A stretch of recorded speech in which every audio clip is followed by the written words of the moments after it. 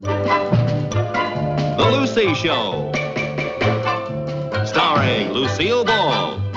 Co-starring Vivian Vance.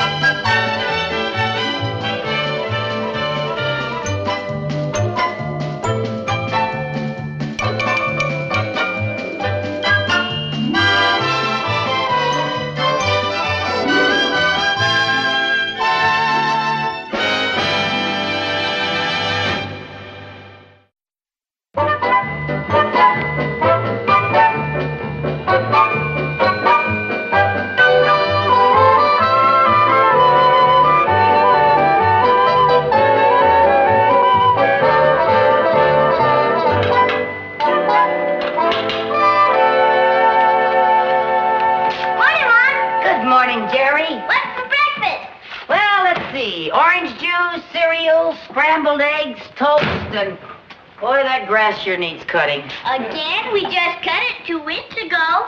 Well, that's grass for you. You water it, you fertilize it, you weed it, you don't walk on it.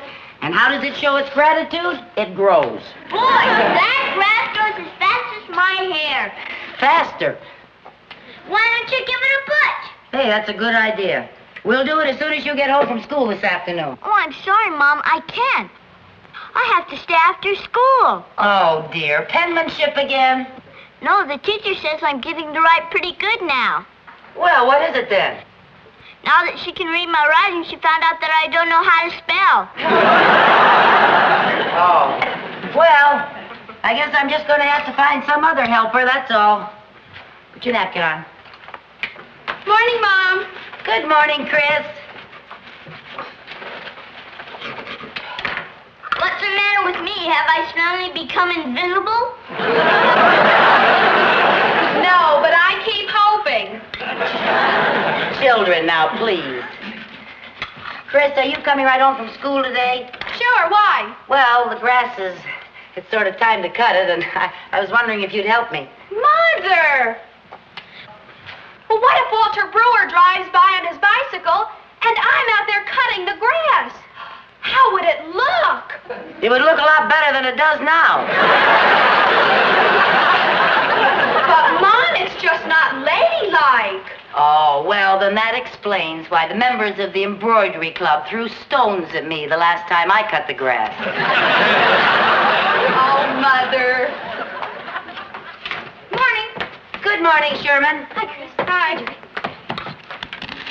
Sherman, I suppose you have a very good reason why you can't help me cut the grass this afternoon. Gosh, no. I'd love to help you. Well, good boy. I finally got a helper. I thought you had a music lesson this afternoon. I thought it was too good to be true. I'd a lot rather help cut the grass than play on that old piano. Oh, no, your mother wouldn't like that. She doesn't need to know. Well, now, she'd find out eventually. I won't tell her if you don't. I won't tell her if you give me a quarter. Now, now, just a minute. I appreciate your offer, Sherman, but you better take your music lesson. Well, I guess I have just one prospect left.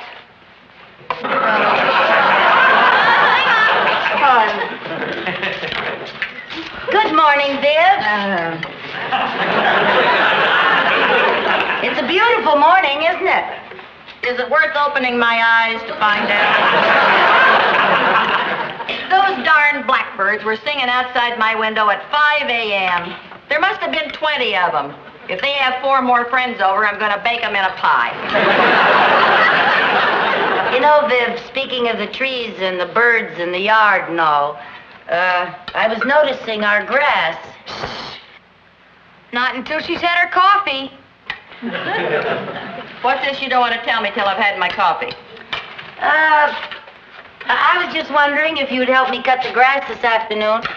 Hey, I've been doing enough work around this house lately. Who got dinner last night? Who did the laundry last week? Who did the marketing yesterday? Who? Who? Apparently, some crabby blonde owl.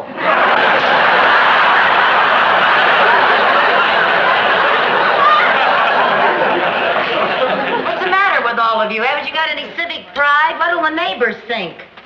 Maybe if we let the grass grow a little higher, they won't know we're here. Well, we gotta do something about the grass. Anybody got any suggestions? Why don't you cover the grass lots of cement. Yeah, that'd make a neat basketball court. I suggest you buy a powered lawnmower. Have you any suggestions as to where we get the hundred dollars to pay for it? Ask Mr. Barnsdall at the bank. Oh, sure. Well, he's in charge of the money Daddy left us. Isn't he supposed to give us some when we need it? Yeah, but his idea of need and my idea of need are slightly different. Compared to Mr. Barnsdall, Scrooge was a swinger.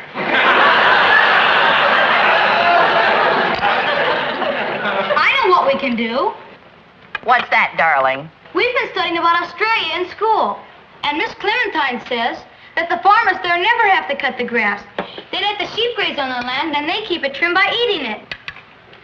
Well, good. We'll all move to Australia. Two-acre basketball court was a better idea. Hey, we'll miss the bus. Let's go. Don't miss Bye, the bus. Mom. Bye, Aunt Viv. Goodbye. Fall off the bus, children. Don't get lost in the grass.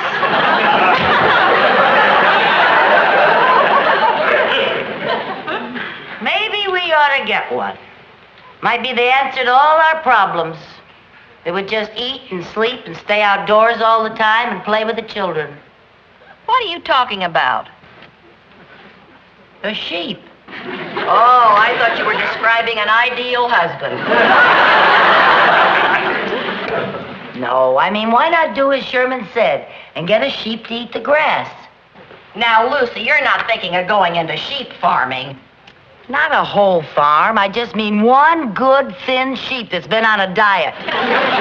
Well, if you ask me, I think the whole idea is crazy. All right, do you want to mow the lawn?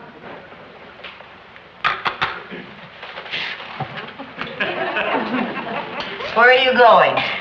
To go look at the want ads to see where we can get a cheap sheep.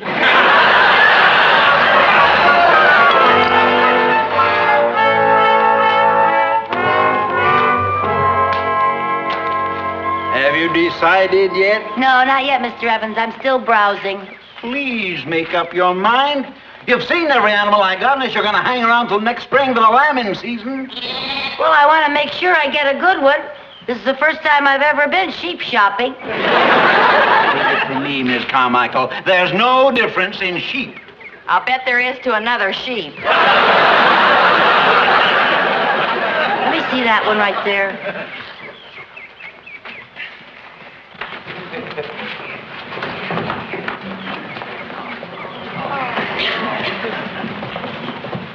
Oh, no. Now that I see it up close, I don't think so. What's the matter with that one? His eyes, they're too close set. Yeah, you can never trust him. See? He looks crooked. I wouldn't be a bit surprised if he was 40% cotton. Did I see that one back there? You've already looked at him once. Well, somehow he looks different now. Could be. He's a lot older now.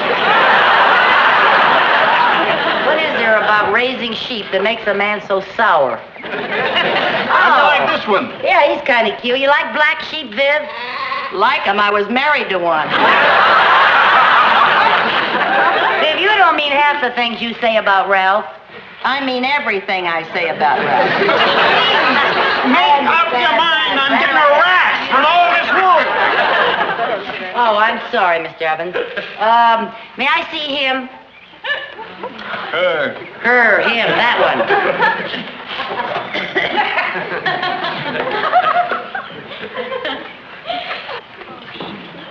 Oh, here.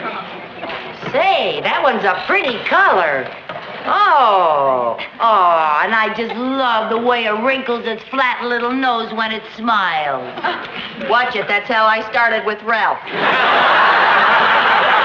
All right, Mr. Evans, I'll take this one. Good, Julie. Forty dollars. Forty? You said they were thirty-five. Ah, but this is a lead sheep. Leaders cost more. Oh, dear. Wouldn't you know I'd have expensive taste, even the sheep? All right, will you take a check? All right with me. Will it be all right with Mr. Barnsdall? Oh, you had to bring that up. what am I going to tell Mr. Barnsdall? Well, you could put $40 for a sheep on the check, and then if he asks you about it, tell him it's mutton for the freezer. Please, not in front of the LAMB. you didn't hear that, honey. Okay, I'll send you a check, Mr. Evans. Uh, Uh, how am I going to get this in the car now? Well, little Bo Peep, why don't you just leave it alone and it'll come home wagging its tail behind it. Go open the door. Okay. Like this? No, there. Okay, I got it. I think. Ooh! I sure got a pretty one, though, didn't I? Thanks, Mr. Evans. Hey, you really are all wool and a yard wide.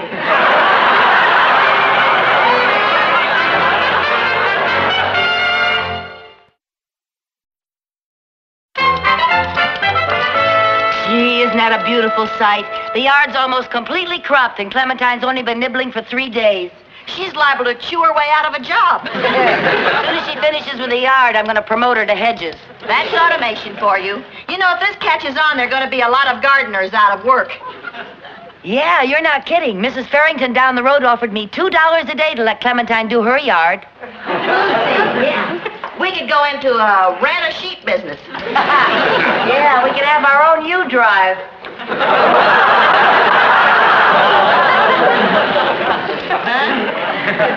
Our own U drive. U, U. E-W-E.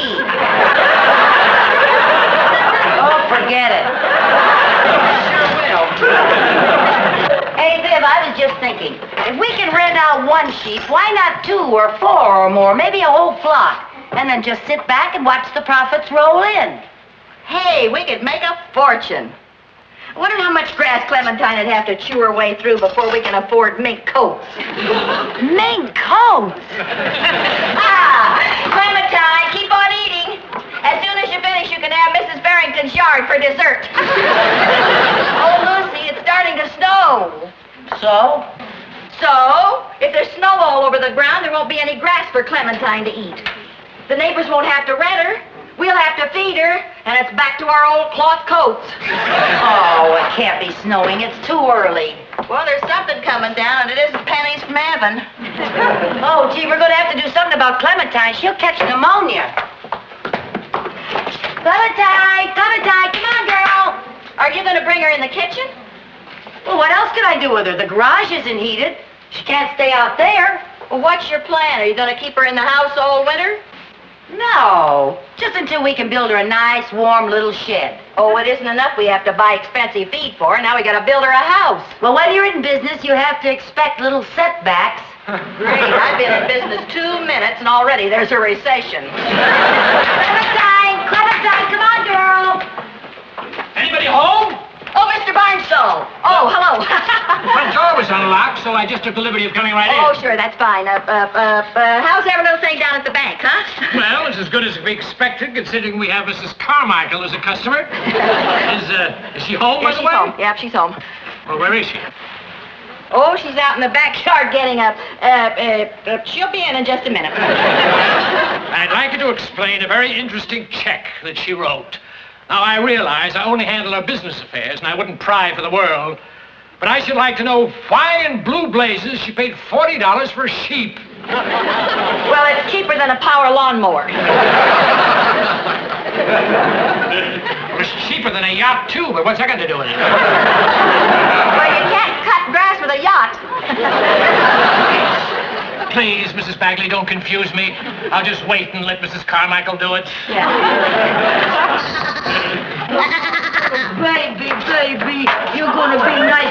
warm in here. well,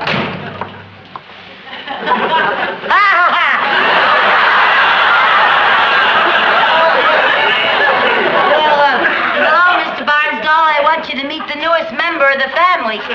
Clementine, shake hands with your banker.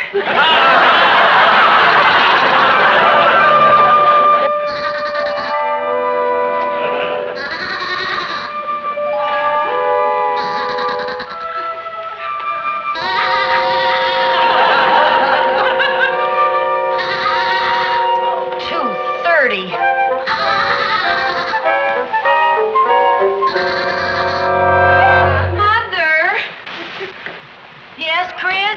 I can't sleep. Isn't Clementine ever going to stop that bleeding? I don't know. I think her bleeder's stuck. I have a test tomorrow and I've just got to get some sleep. I know, honey. I'm sorry. Lucy, what are you going to do about Clementine? I don't know. I fed her. I, I wrapped her in a nice warm blanket. I think the only way you're going to stop her is to wrap her in some nice aluminum foil and show her the barbecue. I bet you don't mean that. Well, if I don't get some sleep pretty soon, I'm liable to mean it. Mommy, I can't sleep. Join the club. Where's Sherman? Sound asleep. How come? He stuffed his ears full of Clementine's wool. How are we ever going to get any sleep? I don't know. I'll go down and see what I can do. Ah, by yourself. I'll be right back.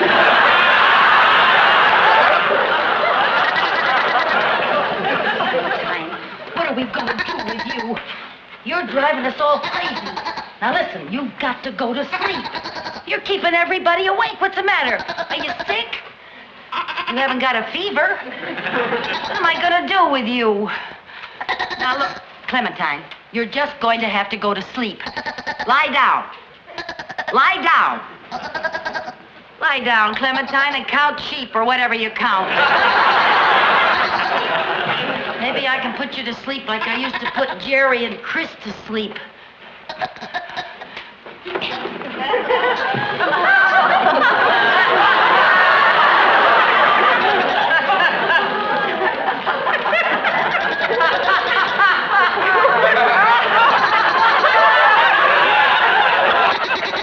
Oh, my darling. Oh, my darling. Oh, my darling Clementine. You're a sleepy little sheepy. Get the sack now, Clementine. Oh, my darling. Oh, my darling. Oh, my darling Clementine. You're my lammy, I'm your mammy. Oh, my darling Clementine.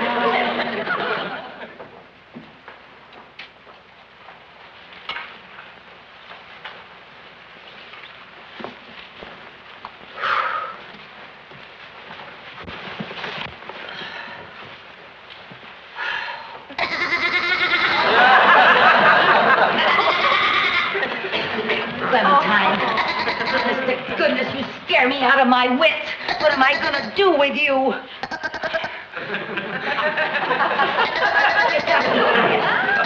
Gotta be quiet let us sleep.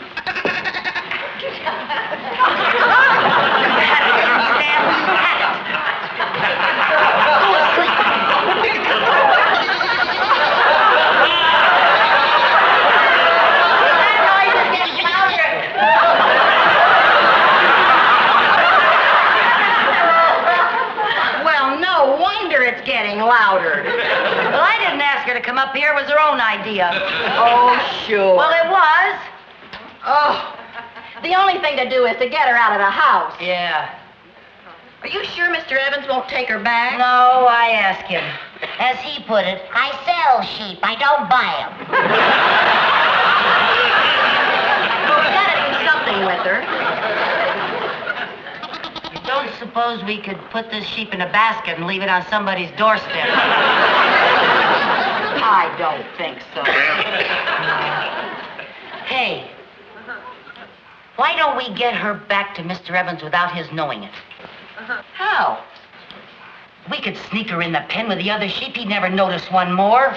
Hey, that's good thinking. And we'd be doing Mr. Evans a favor, too. He can sell Clementine all over again. And we'd be doing the other sheep a favor, too, saving the trouble of electing a new leader.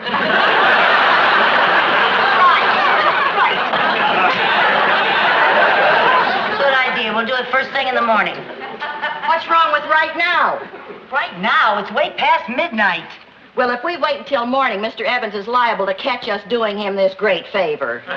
Besides, what have we got to do the rest of the night? Sleep. Oh, all right. Go warm up the car. We'll be right down.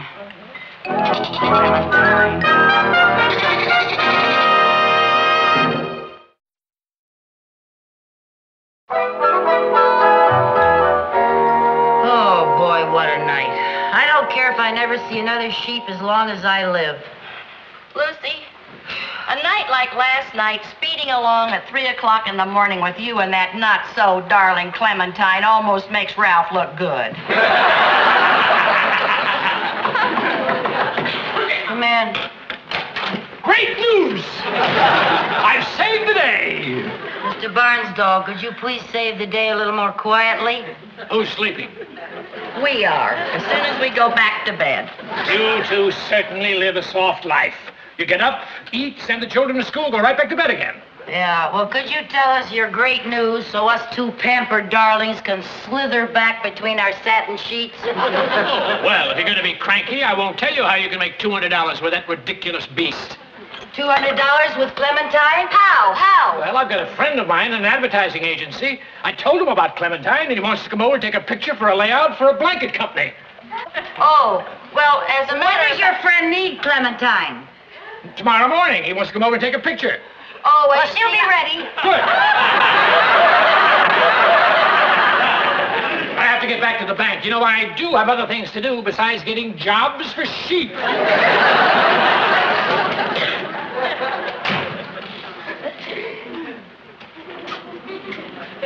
Lucy, can I ask you a question?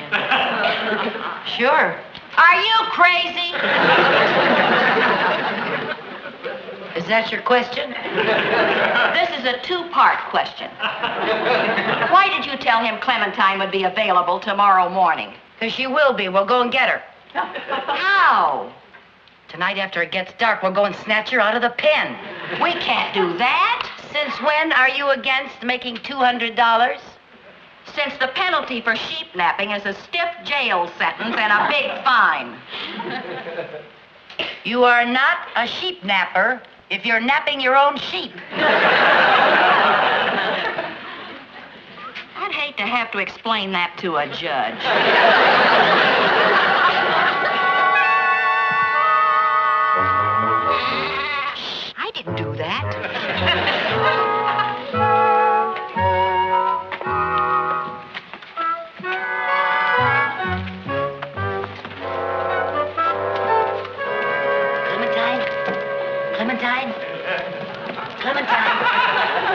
Clementine? Oh, Lucy, how are we ever going to find her? All sheep look alike. Oh, they do not. Well, they do to me. Clementine. Here, Clementine. Clementine. Here, Clementine. Will the real Clementine Carmichael? Here, Clementine. You're not Clementine. You're not Clementine. You're not Clementine. You're not. You certainly aren't. Here, Clementine. Clementine. Clement. Oh, Lucy, we could be here all night and never find her. Oh, come here. Take me to your leader.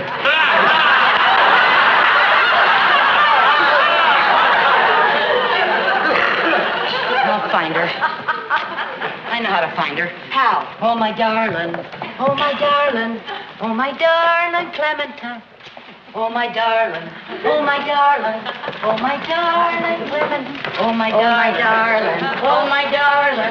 Oh, my darling Clementine. Oh, my darling. Oh, my darling. Oh, my darling Clementine. You are gone and lost forever.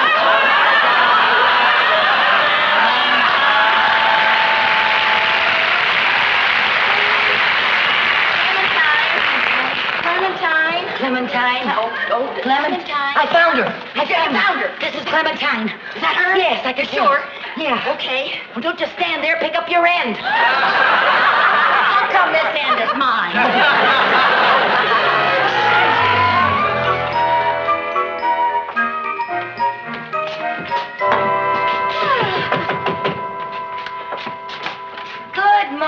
morning. Morning, Mrs. Carmichael. This is Mr. Vincent, the photographer. How do you do? This is Bagley. Hello, How nice do to you meet do? I was just looking at the backyard. I think I can set up my lights right out there. Okay, okay. Uh, Clementine will be out in a jiffy. All right, thank you. Okay. Where, uh, where is our little four-legged cover girl? She's down in the cellar playing with the boys. I'll get her. Boys, bring up Clementine. We haven't told the boys about Clementine's new career. No, we don't want to spoil them by telling them they're going to be millionaires, kids. But I'll settle for a slight return, all right? What you got there? What's that? It looks like Clementine's wool. That's right. What, what, are you doing, with, with it? it? We're going to sell it. What for? To pay for our food. Oh, oh no. Sherman. Sherman, you oh, Jerry Lucy. Oh.